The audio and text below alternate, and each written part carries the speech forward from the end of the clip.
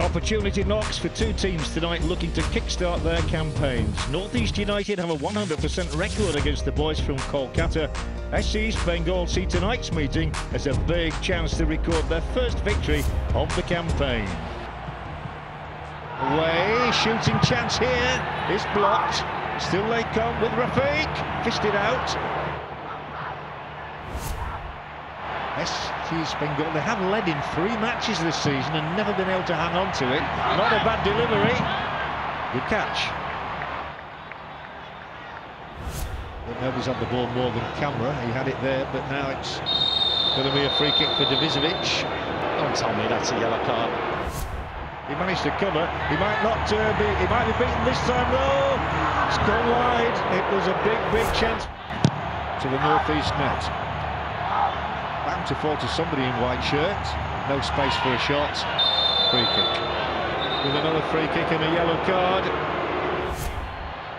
He'll go for the shot here. Oh, it's a good one as well.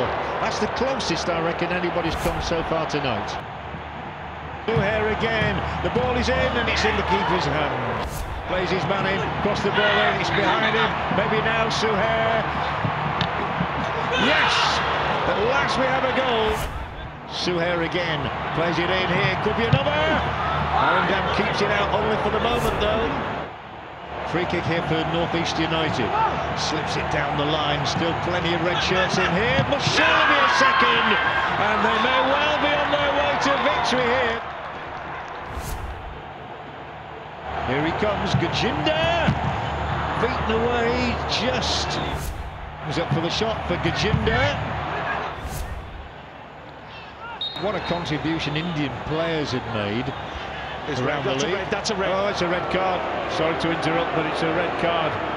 Well, what a sad way for the evening to end. Can he finish it off as he did the other evening? He'll come back to Suhair again, drives it in hard and well saved Arindam.